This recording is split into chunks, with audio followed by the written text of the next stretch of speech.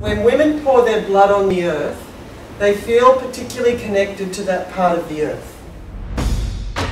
Just finished Moonsong with Jane, and it's taken me 56 years to understand the roadmap of life. This is all you need. Just the way she just holds the space and teaches. I felt really safe and comfortable. That was just so precious.